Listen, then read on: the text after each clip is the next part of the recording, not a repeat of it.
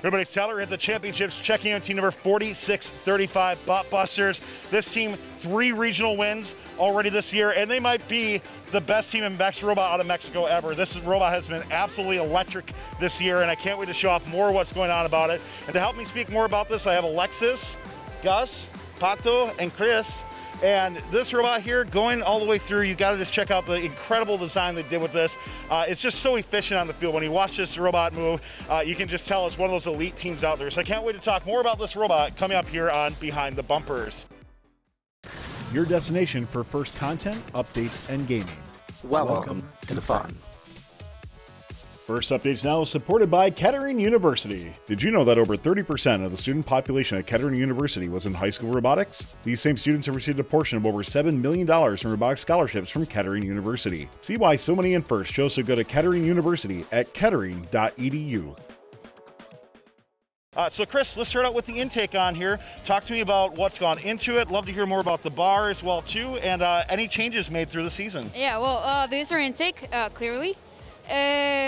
Uh, we actually like the main thing we focused on was that it was um, strong enough to take hits and uh, I mean to keep working even though uh, some things may may may break or stuff like that.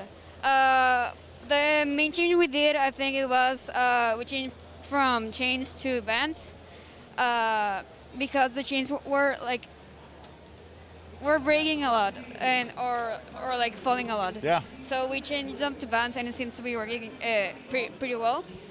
Uh, one of the main components, I think it's the mecanum wheels that makes the ball uh, redirected to the center. Uh, that uh, we found good use of it. Uh, we also had the kicker bar in the beginning of the season that help all the balls like go actually in because sometimes uh, the robot uh, used to go like over them instead sure, of, of gotcha. driving them. So that was a problem, and we fixed it with the kicker bar. So this this kicker bar helped out with that a lot more as well too. Yeah. So can we see the intake come down, and then uh, let's put a piece of cargo in, and then we'll keep moving on to your uh, indexer. Sure.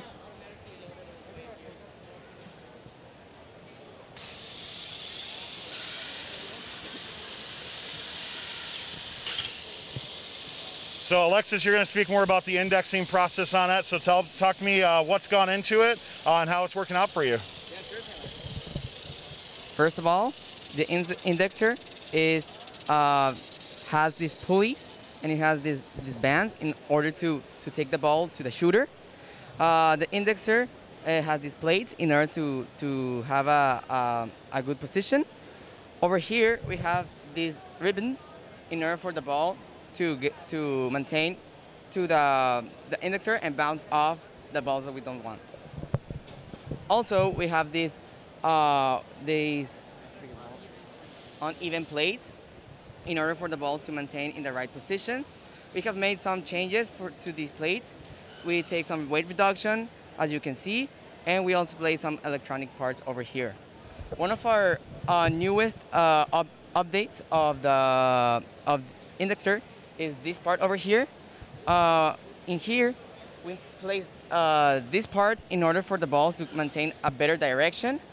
Over here, we can see uh, it is connected by a motor that is over here. It's a little bit, uh, um, uh, it's connected through a band.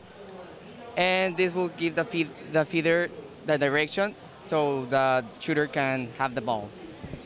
So as you go up uh, from your tower area as well too, I know we'll talk about some electronics and sensors in a little bit. Uh, did you have to do anything from a mechanical side to try to like prevent any jamming or any scrubbing of the cargo or anything like that?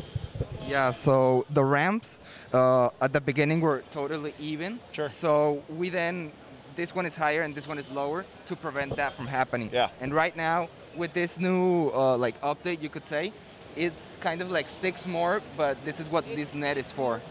Yeah, it's more finicky but the intake does its does its problems. I mean, this is the same kind of like rope we use on the climber, but this is like kind of thinner and this is uh, thicker. Uh, the balls used to jam a lot in the middle. So uh, another twitch we did was uh, to make the this skylater go uh, to kind of switch like scissors, so uh, the balls could move and Sure.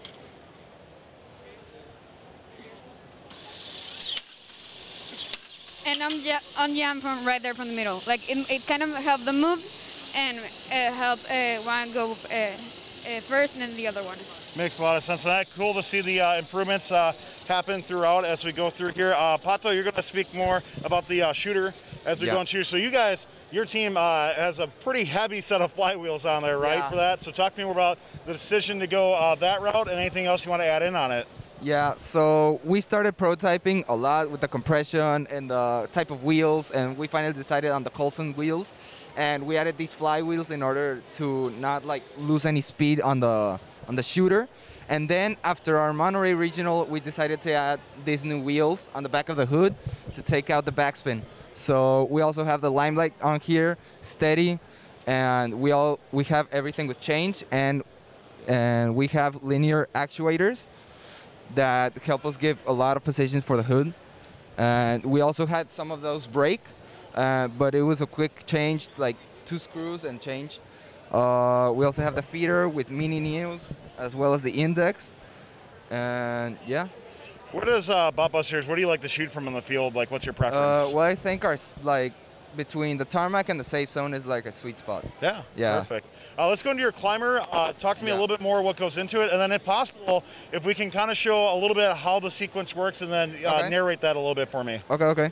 So everything is with these pistons. We have like uh, so a big screw around here that grabs onto the pistons, and these are like telescopic arms. So there's a frame inside this frame.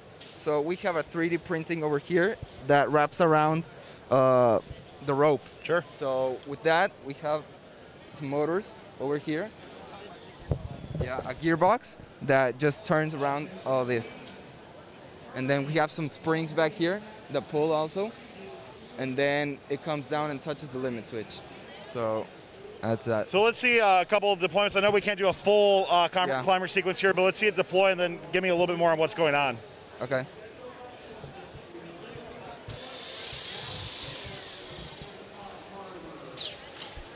So first it pulls these two arms back.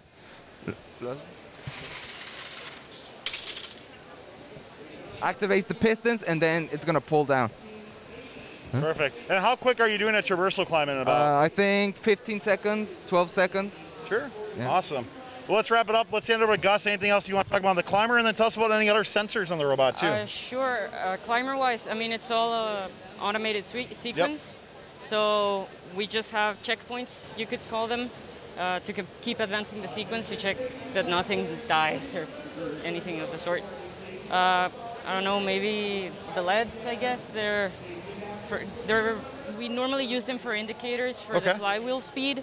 So as you can see when we Oh, turn cool. the flywheel, uh, they're the alliance color. Yeah. In this case, they're blue for some reason. Uh, I mean, we just played as blue, so I imagine That would make sense, yeah. Yeah, and then they turn green when it's ready to shoot, and so that's a great indicator for. So, so your drivers are actually able to see this on the field. Uh, yeah, I mean they're pretty visible Yeah. once you're on it. So, and uh, we have a couple of uh, limit switches right here for the for the loading of the balls. Sure. So you're then- detecting when they're when they're in place and that sort of thing. Yeah, and uh, hmm. I mean we control the LEDs with a Raspberry Pi. Okay. And uh, we take uh, the 3 volt logic from the Raspberry to a 5 volt logic to, for the LEDs. Well, uh, Busters, uh, your team's been looking phenomenal all season. I can't wait to see uh, more of your performance here at the World Championship. So good luck, and thanks a lot for taking the time to tell us about your robot and your team. Okay, well, thank you very much. Thanks to Kettering University for their support of this video. If you want to continue enjoying the excitement of robotics, come check out what's going on at Kettering University, including their Combat BattleBots team and First Center. Turn your robotics experience into a professional career. Be sure to apply to Kettering beginning in August of 2022. Go to kettering.edu/apply to learn more. Don't forget to like, subscribe, and ring the bell to stay up to date on our new videos.